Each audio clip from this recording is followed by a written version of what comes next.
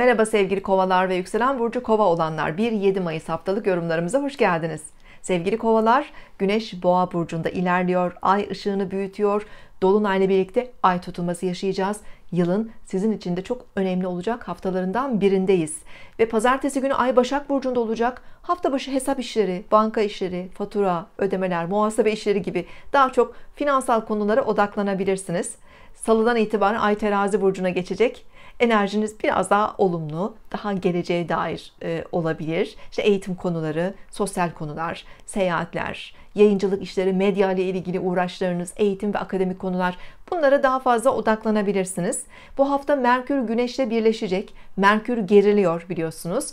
E, dördüncü evinizde Boğa burcunda bir birleşme var. Ev yuva konularında odaklanabileceğiniz bir hafta. Hafta başından itibaren evde belki ailenizle önemli bir konuyu görüşmeniz, sonuca bağlamanız mümkün. Bu bir evin satılması, kiralanması gibi bir konu da olabilir. Bir kontrat, bir imza konusu olabilir.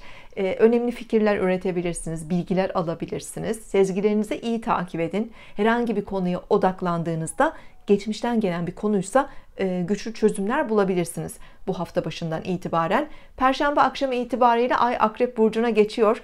Tutulmanın etkilerini hissediyoruz duygusal anlamda, ruhsal ve bedensel anlamda güçlü etkileri olabilir.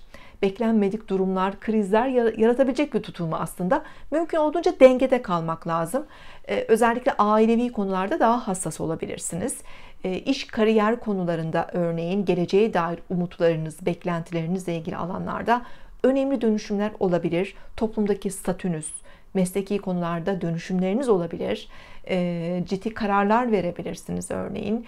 Bu bir ilişkide bir ayrılık ya da bir, bir evlilik konusu da olabilir tabii ki. İlişkilerle de ilgili bu toplumdaki statünüz, kariyeriniz şekillenebilir ya da ailevi konularda etkiler olabilir. Tutulma ile ilgili detaylı bir video hazırladım.